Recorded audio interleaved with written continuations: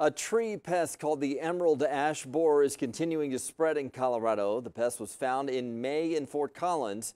It's previously been found in Broomfield, Westminster, and Boulder County as well. The emerald ash borer attacks and kills ash trees. If you have an ash tree, then you need to determine, you know, what condition is it in? How healthy is it?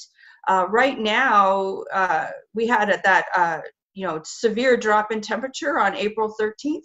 We had a big freeze, and um, a lot of the ash in you know along the front range are suffering. So if your ash trees are healthy, you should consider treating it with an insecticide to prevent the insect from attacking your tree. Experts also say some ash trees are not worth saving and should be replaced.